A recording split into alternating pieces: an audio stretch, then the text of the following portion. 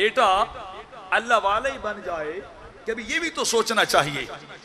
انکار میں نہیں کر رہا ہر چیز کی ضرورت اور اہمیت سے۔ مادی تعلیم کی۔ اپنی جگہ پہ طبعیات اپنی جگہ پہ ہیں، الہیات اپنی جگہ پہ ہیں۔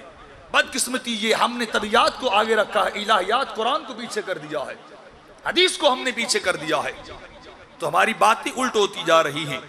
تو ہم نے کبھی نہیں سوچا۔ میرے ایک دوست ایک بار مجھ سے سوال ہوا تھا۔ کسی سٹوڈنٹ سے، کسی نے طالب علم سے، مدرسے کے طالب علم سے سوال کیا جی کیا فائدہ ملے گا تمہیں؟ یہ سارا دن پڑھتے ہو، اس سے تمہیں نوکری نہیں مل سکتی۔ قرآن پڑھتے ہو، حدیث پڑھتے ہو، نوکری کے کوئی چانسز ہوتے ہیں۔ ہم پڑھ رہے نوکریاں مل جاتی میں نے کہا، رزق نوکریوں میں نہیں ہے، رزق خدا دیتا ہے۔ کتنے پڑھنے والے دھکے کھاتے پھر رہے ہیں۔ در در اپنی ڈگریاں اٹھا کے جلاتے پھر رہے ہیں۔ اور منتیں کرتے پھر رہے ہیں۔ رزق پھر بھی نہیں ہے، نوکری پھر بھی نہیں ہے، حافظ قرآن قرآن کا عالم۔ اور قرآن کے پڑھنے والا کبھی بھوکا سوتا۔